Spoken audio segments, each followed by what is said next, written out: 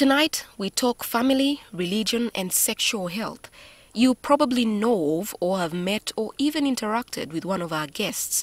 If you have or have not, his is a story to tell. Professor Reverend Canon Gideon Byamugisha, a man of God who carried a mark that he has used to pass on a message. He joins us in the studio tonight with his daughter, Patience Businje.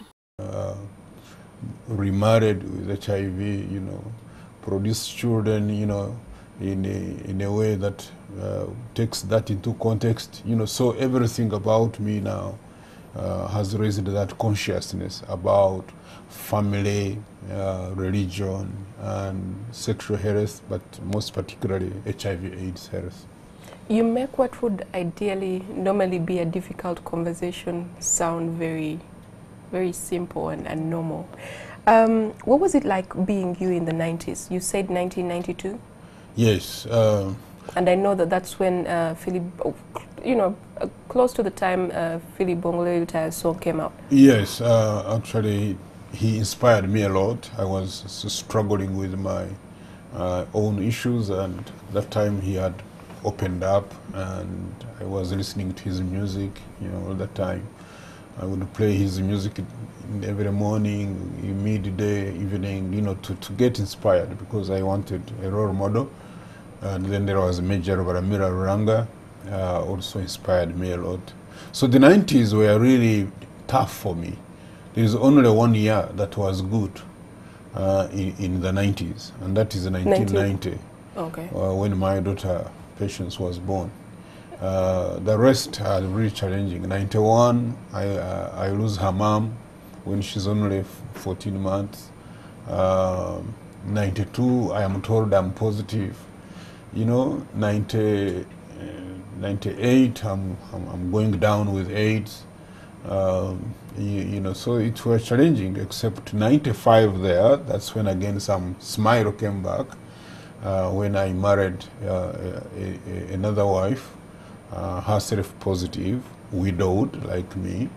Uh, so uh, that brought a smile on my face again, but also brought that challenge of what we are discussing about uh, family, religion, and uh, sexual health. How do you, the two of you, you are positive, how do you marry without producing children who are, who are positive? So that Yeah. brings in a new dimension and uh, things have we have to discuss that we have to agree we have to be disciplined in doing what we have agreed you know?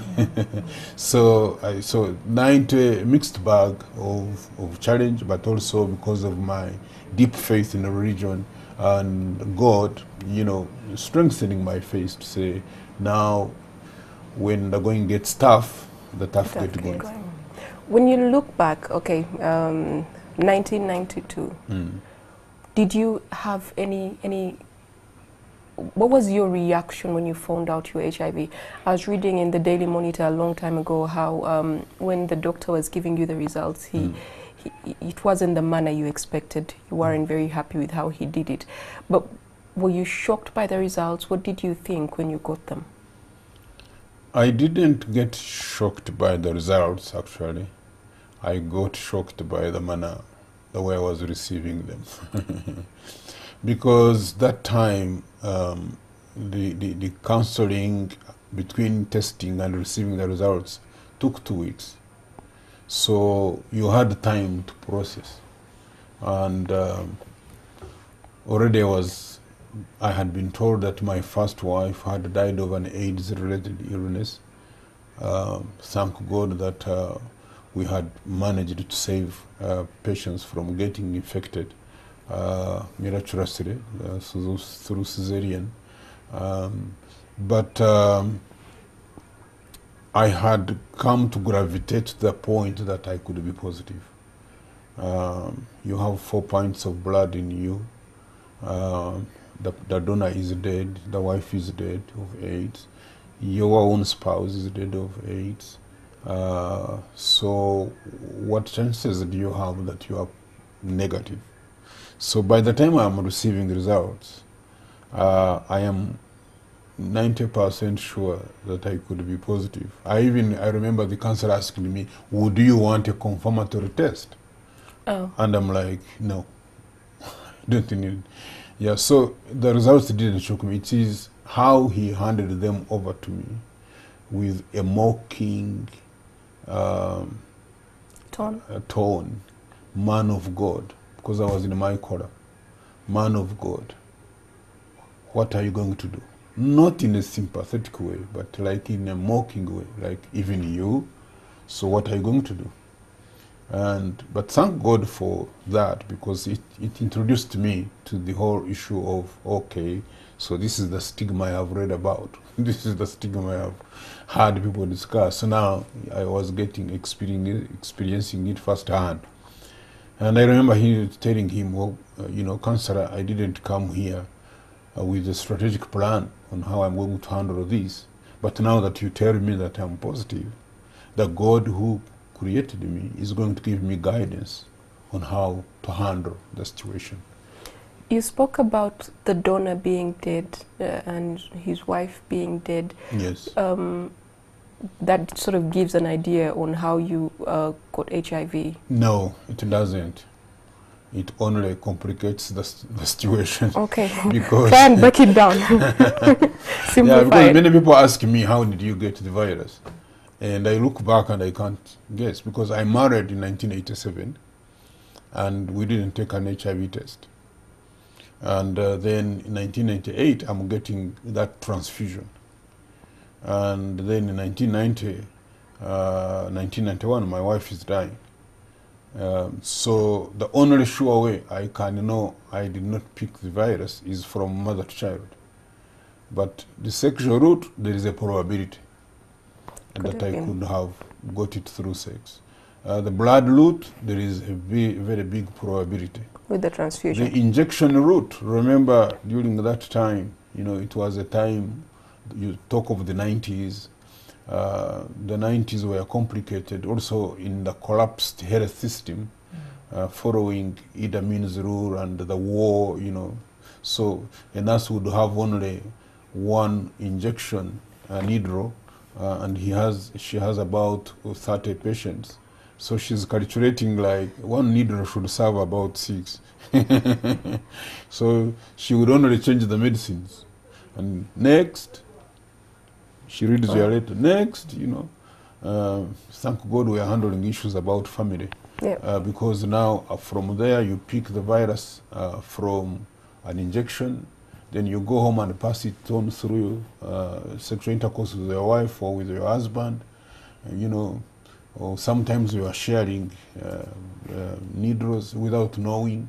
Uh, so it's a complicated question. People tend to think I'm dodging it, but I'm just being realistic. That uh, people who are accurate on how they got infected could be internalizing the stigma Uh, that says you get HIV when you have sex before marriage or outside marriage. So when you say, how did you get it or when, he, they use when they had sex in the hotel or under the tree as a benchmark. And they say, oh, I know I got positive in 19 this. But for me, sincerely, I can't. But I think, Josephine, I've reached a point where I feel like, but is it really important for me to dwell on how I got positive? Or maybe what is most important now is to think through what should I do? I think the question came up a lot for you because, again, like the doctor said, you are a man of the cloth, so there are bound to be questions around that. But what did your family um, say? How did you break the news to them? What was your life like after that? Oh, challenging, challenging. Um, the first, actually, it's not my, the, the, the, the first, the actually family member um, is the one who told me that my wife had died of a pneumonia that is related to HIV. And um, so when I got the results, it is her that I went back to, to disclose. I actually disclosed to th- three people that day. One was my principal at the theological college where I was training, uh, uh, other priests because I had graduated with the first class and with my first degree being in education, they had thought I could be good material for uh, a permanent position. So I was being retained to do a postgraduate course, uh, a PhD in theology, and that's when the disaster struck. So I went and told my principal of the results. Then I went told the staff, told the the students, and then told my sister-in-law who had broke the news. And I think how she replied could be a good model for all those families that are struggling with these issues. Uh, because she looked me in the face, you know, hugged me and said, you know, Gideon, we loved you as a family before HIV, and we will continue loving you even with this new situation.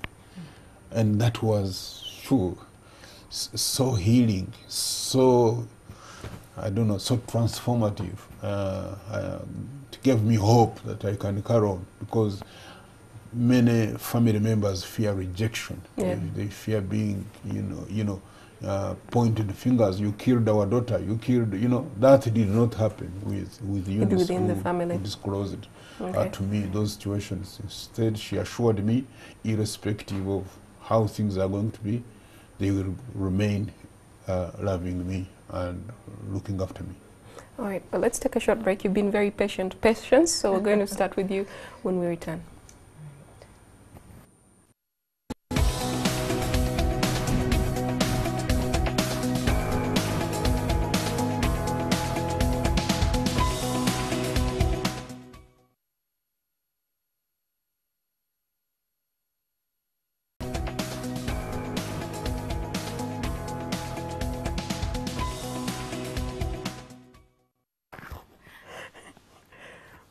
Welcome back. Thank you for staying with us. We're coming to you from the Serena Conference Center. And tonight we're talking about religion, family, and sexual health. Patience, I promised we'd start with you. Listening to these conversations, what is it like for you? Isn't it difficult? Thank you, Josephine. Um, difficult would not be uh, would not be what I think. Um, although yes, there have been challenges, and there are still rather quite some challenges. But uh, I thank God because my dad, Canon Gideon, is has is and has been a man of wisdom um, all these years. Um, growing up in the in a home where you have a father who's loving and caring, this is having HIV is the list of things you'd be cared to know. Okay, to deal with or to, you know, have it as a thing that leads how you react towards that person. So finding out about it was um, mostly, or even paying attention to it, was mostly when I was in school. Um, my dad had tried to reach out to me and you know explain a few things here and there when I was about I think six. But as a child, really, those are things that are not. Do you not remember concern anything me. about what that conversation was like? Yes, I remember. Um, so it happened that um, I had been raised by a different mother to begin with because I had lost my mom. But um, I, I, really thought the other mom was my real mom. And a cousin teased me and said, Oh, you know, um, that's not your real mom. She's not your real mom. Your mom kicked a bucket. So I, I had to go and ask my father and said, But what does kicking a bucket mean? So that's where the conversation began. Oh, you know, you had your mom, this, this, and this happened. So I, I, I I, I got opened up to that knowledge. I was about six.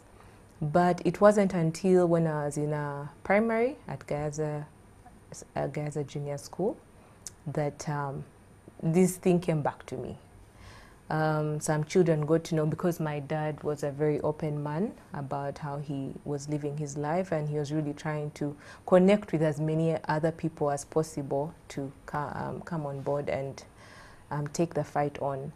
So children got to know about my dad's uh, position, his status, and I started getting teased.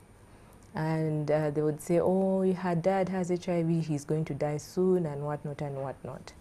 So I remember calling my dad very frantically. uh, that was in the 90s, and I said, "Dad, you need to come here and explain a few things." Do you remember that phone call? I do. yes. What were you thinking? Well, I have a philosophy really uh, that has helped me uh, in family issues. That if a child calls you, be be available. Number two, if she asks you an intelligent question, she deserves an intelligent answer.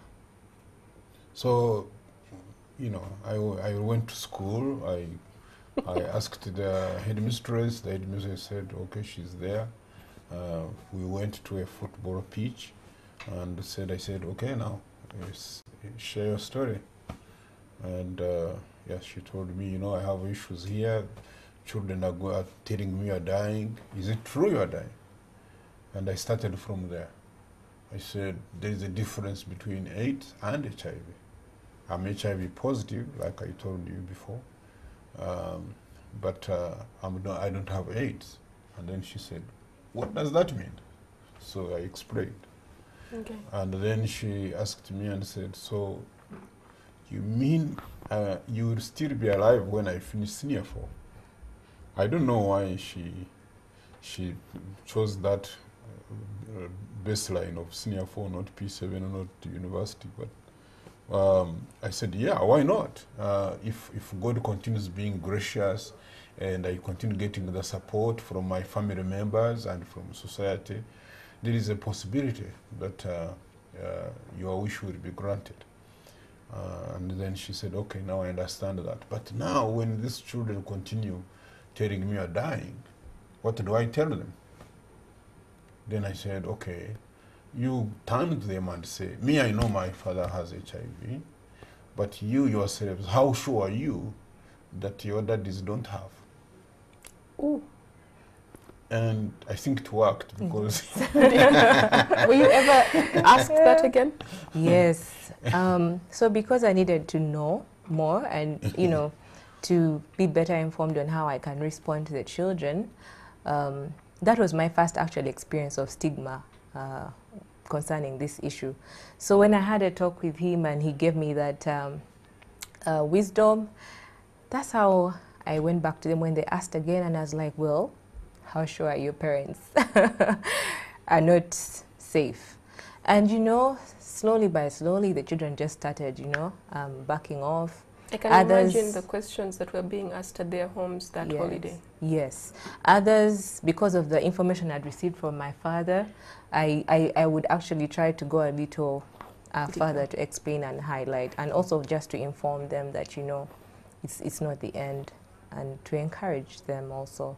But basically to, um, to also re- make them realize that stigma, making someone feel discriminated because of that, wasn't the right thing to do. Yes. Okay.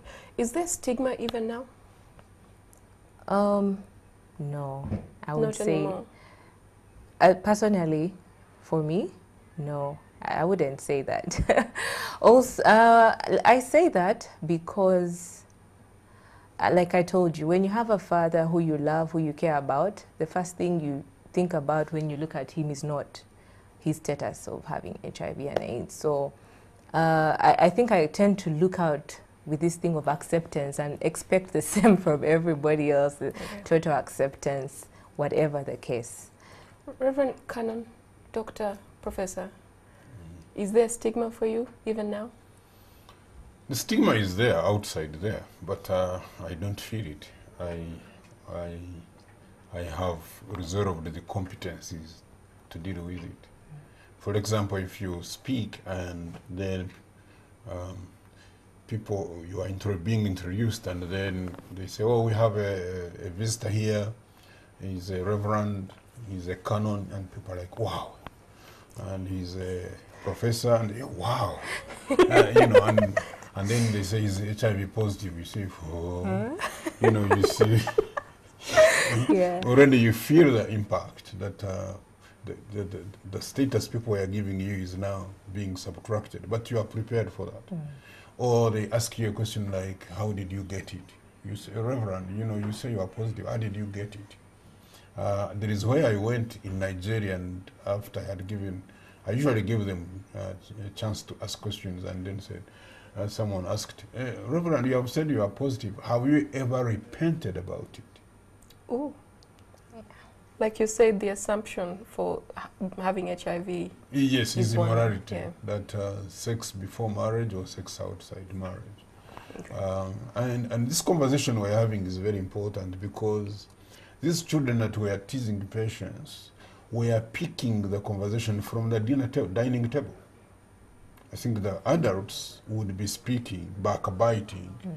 and then the children would pick it and then they say, oh, okay, so I know Yeah. what to tell them when I. So it's very important to choose which topics we are discussing at table with children, or even if they are not, we may assume they are not hearing, but they may be picking. They're always listening. yeah. they're always listening in a way. Do you do you know how much impact your story has had um, since you've shared it? Have you had people come and talk to you and say, you know, the same way uh, uh, Philly Lutaaya influenced you? Yeah. I can have a guess, you know, I can have a guess. I will never know the real Yeah. impact, but uh, I really have a, like, when I started this ministry in 1992, I, uh, I was the first religious leader in Africa to do so, to disclose openly, and people were like, uh, you know, and uh, so that went on. But then I said, I think there could be other religious leaders who are really positive and are hesitating and are feeling stigmatized and shamed and abandoned and are dying in shame. Uh, so I got that burden and look, looked for them, and now we are 13,000 members Thirteen thousand Yeah, in Africa. in 25 countries. Yeah, so those among them there were, I, I remember one of them was really dying when we held our first retreat in Zimbabwe. Uh, has, his CD4 count was 80, 80. Uh, but you know he picked up and uh, now he's he, he's he's he's a strong man. He go, went on to marry again, produce children who are negative, and now he's a bishop. I mean, it's amazing what support can do. Uh, Yes. you know. So then recently I went to a, a school in Ruzira, which I think is an SDA church uh, run school, and I was speaking to young people, and one of the young girls after the talk came to me and said, "You don't know what you have done for me." I said, "What is it?" I was in senior one. I wanted to commit suicide because I was born positive and I was tired of life. I was tired of the stigma. I was tired of medicine. And but I saw you on television and I got interested. I, I learned that you, you are well educated, you have many degrees, you are married, you have children who are negative. I just threw away the poison. Wow.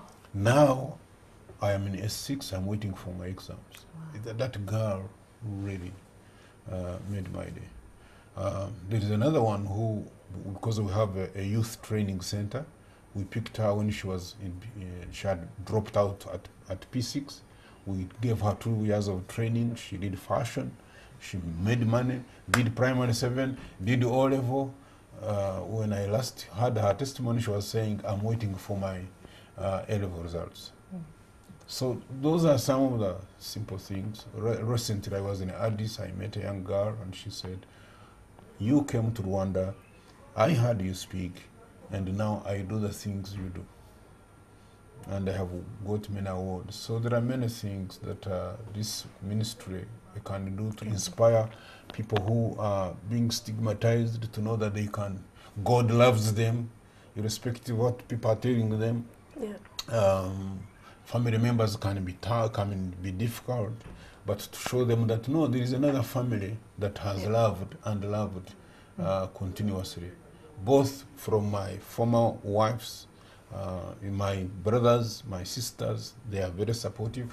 My sister, my own sister, said when I lost my wife, she she closed her house and said, "I will only go back to my house when my brother gets another woman." And tell you what, the day I married Pamela is the day we gave her away. So I'm from the church. I, I changed into a council, and uh,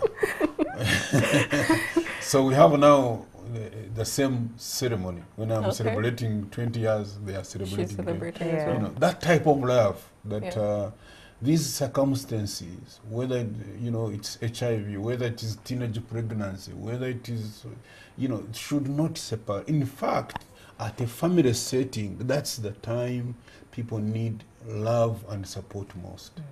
But uh, in real life, it's the opposite. It is the time when they are castigated and thrown out.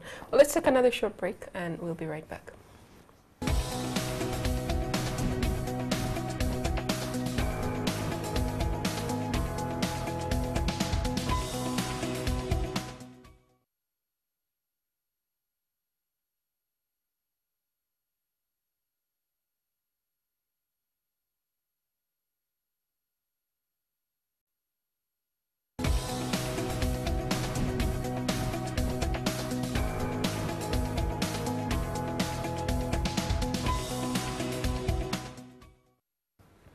Welcome back. Tonight we're talking about religion, family and sexual health.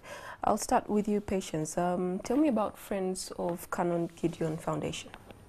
Okay. Um, Friends of Canon Gideon Foundation is a non-for-profit organization.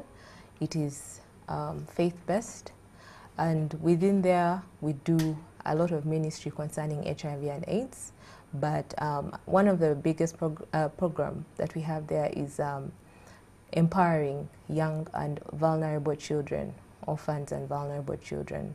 Um, we mostly take into consideration people who have been affected, infected, or you know, have, uh, by HIV and AIDS. So we take these young people with an aim of giving them skills that will make them wholesome um, to be able to contribute to more to the development of the society. Right. Uh, yeah. This foundation was started in the early years when you just found out, right? Yeah. And I think it was a fundraising 1992. Okay. It was Friends of Gideon Fellowship. Yeah. Okay. By then, because they realized I needed help, I needed prayers, I needed, so they yeah. formed a fellowship to give me that spiritual support. Okay. And then later on, when uh, in 2003, when I got my third award that had a cash prize on it, uh, uh, me and Pamela said we let's hand over this money to the fellowship so that we do what she has said, um, empower okay. young people. Mm. And then they had to register, and by then I was a canon, so it changed to Friends of Canon Gideon Foundation. I heard you today speaking about sexual reproductive health, and I, I thought I'd pick your, your brain on that. Mm.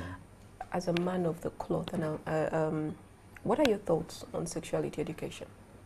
We are doing badly uh, as, as, as, a country and as a continent. Uh, we, because when we talk about, in the region, uh, there is a lot of talk about life and death. And in, in death, we have six types of death. Preventable death, postponable death, reversible death, controllable death, inevitable death, and transformable death. Now, when you look at Africa and Uganda, most of the deaths are not inevitable. They are preventable, they are controllable, they could have been reversed with good, accurate analysis and interventions. So when it comes to sexual health, uh, we are really doing badly. We, we are doing something as a country, but we could do more. Um, if we could, for example, differentiate between right behavior and safe behavior. If we could tease out, for example, words like sex, sexuality, sexual health, sexual acts, many people confuse them. When you say, I want to teach people about sexual health, they say, oh, you want to teach them about sexual acts. when you say, I want to bring uh, in a curriculum a subject on sexuality education, oh, you want to teach our children uh, how to fornicate. But these are, are different. And I think if we could take time and say sex is just talking about whether you are male or female.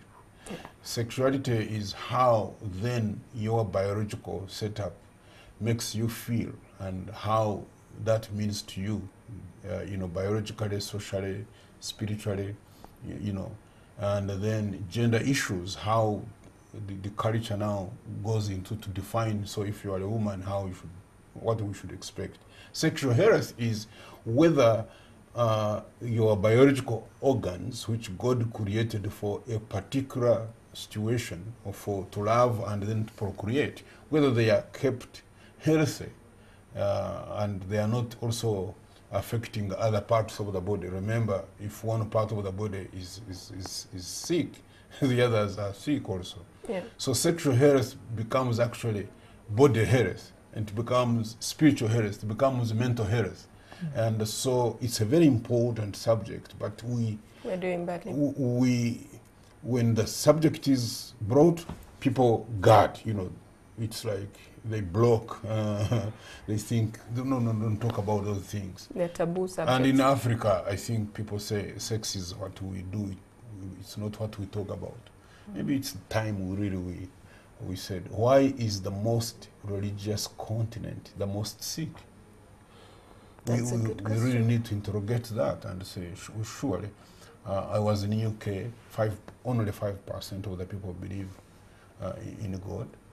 But you ask them HIV, they say sta- not statistically significant. You come here, the churches are full. You put three services, they will three services will be full. But we we are having a prevalence rate of seven percent. Uh, this morning we are being told that uh, between 15 to 19 age group of young people, uh, close to 10,000 get infected every year.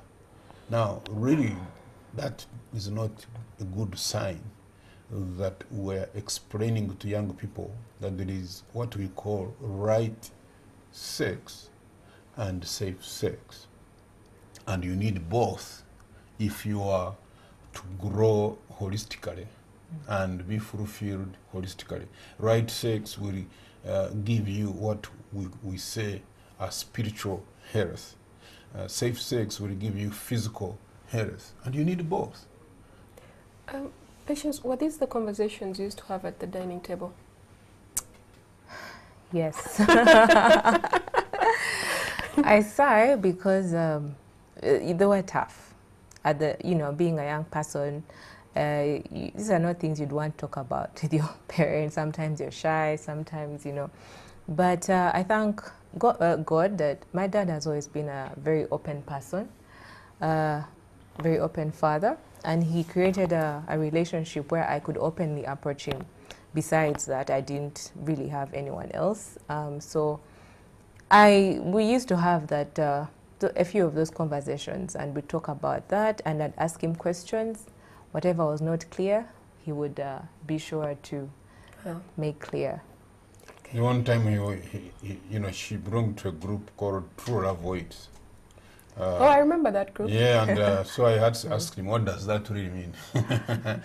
and we, we discussed. Then I asked him, uh-huh, now you assume we have, you have waited for 20 years, 23 years, 25 years, and the waiting is over. Tell me that day how you will handle yourself. you Never know, because that's people wait you know it, and it's a very painful thing for parents and for even young people that you have kept yourself pure and then you get infected on your first marital day because no one said that after waiting you graduate and you graduate in this way uh, so that the, the behavior is safe and it's also right. So when you go to the to the priest to wed you you are doing it right. But is it safe? So these are things that for family health for sexual health these should be part of daily discussion uh, to know that for example now i have this water you have given it to me it's mine. So in religious language we say uh, i am doing the right thing to drink my water. But if we have not taken trouble to make it purified, then it's not safe. My water, my own water, will give me disease. That's true. But if someone steals my water when I'm conversing with you and takes it, we call him a sinner. But if they boil the water, they won't have sickness. They won't fall sick. But are they still guilty of sin? Yes. Are they sick of typhoid? No. So these are these are issues we need to discuss that you can be born again and suffer teenage pregnancy because of what people have done to you, not what you have done. Okay. Uh, Canon, in 2015, you diagnosed 2015, with, yes. yeah, Yeah. with uh, colon rectal cancer. Yes, stage three. Uh, very tough experience. This is four years later. Yeah, almost five. You look healthier than most.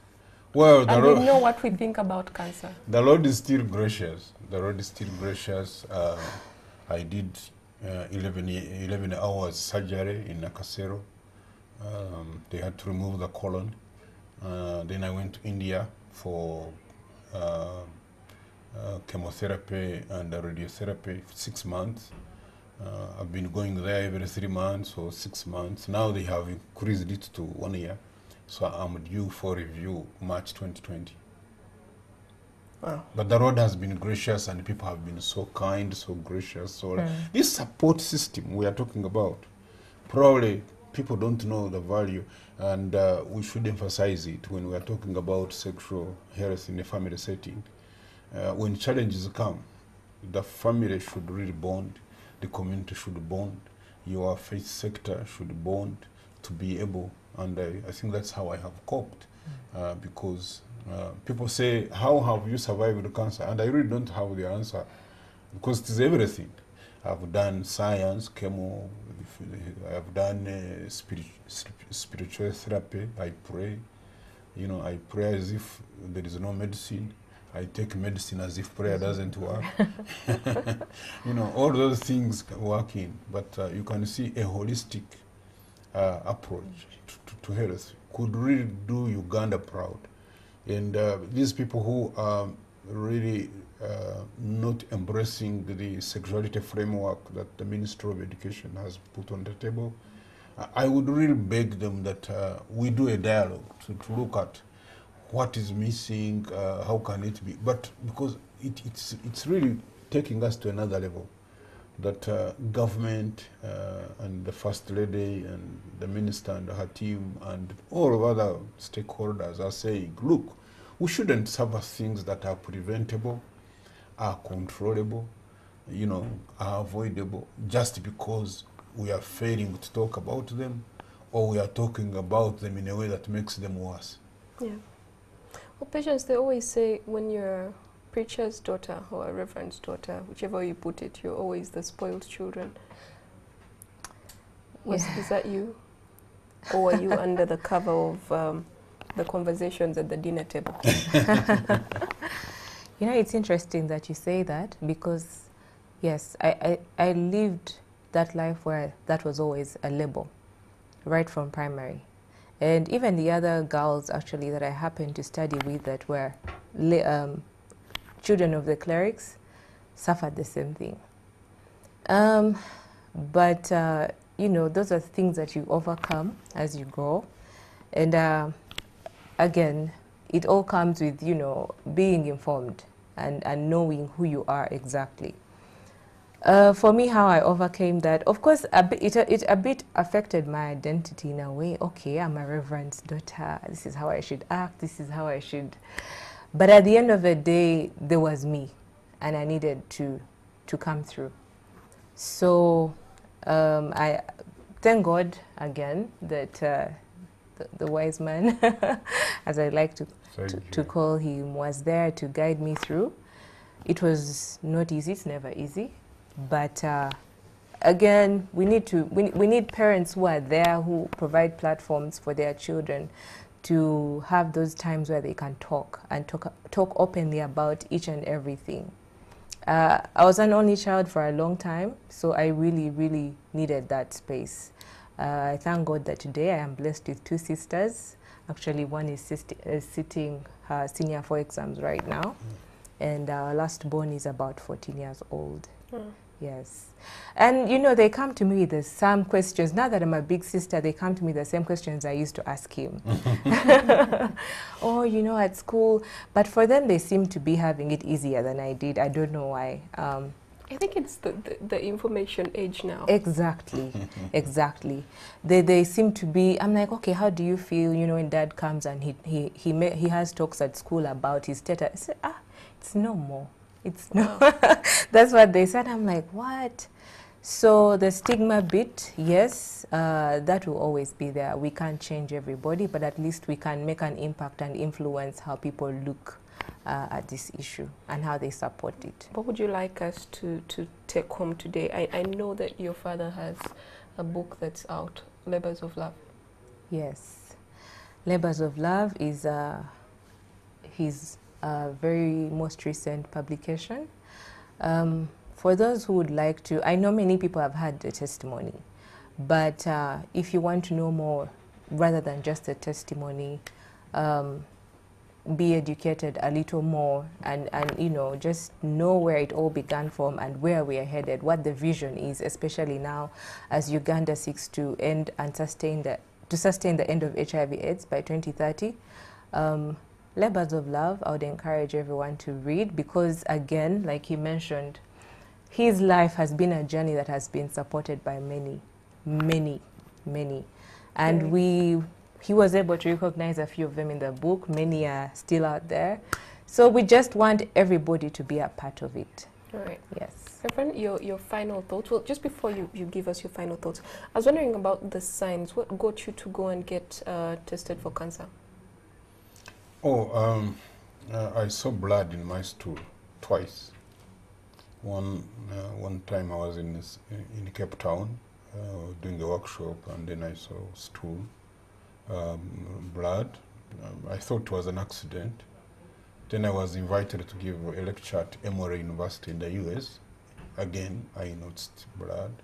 So I said, no, when I come back to Uganda, I should take uh, this seriously. And when I did, uh, my doctor said, wow, this could be serious. So they referred me to a professor, uh, Majid Kajimu, who did a test, and indeed that tumor was.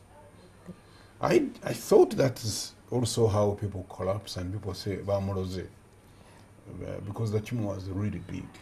So if, if it bursts inside there, then you are, you are done.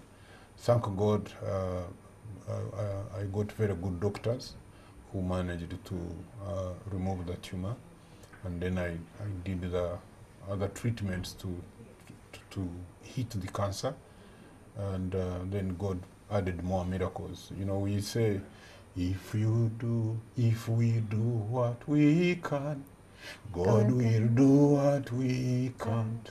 There is much in our history to give us hope and courage.